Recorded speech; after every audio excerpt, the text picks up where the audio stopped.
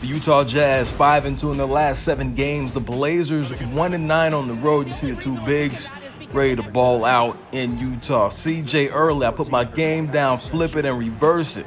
19 and 6 Blazers up early, but things would change. Utah, the reigning six man of the year, his name is Jordan Clarkson. Three ball, splash.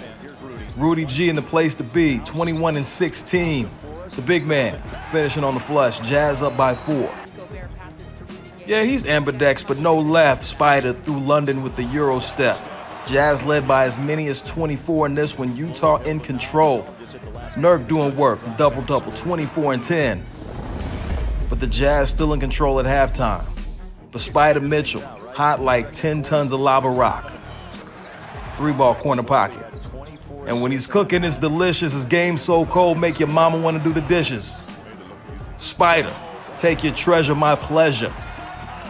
Oh yeah, finish that one time. Do rewind that. Donovan's behind that. Utah up 75 to 58. Fourth quarter. Blazers trying to get back in it. When everyone's against you, got to be sharp as a Ginsu. Simons, 24, off the bench.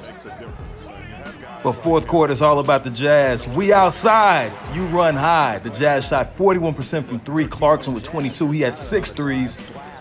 And what Jadakiss is the D block, Donovan is to Utah. 30 points leading the way for Utah. The Jazz secure their 14th win of the season. They win 129 to 107.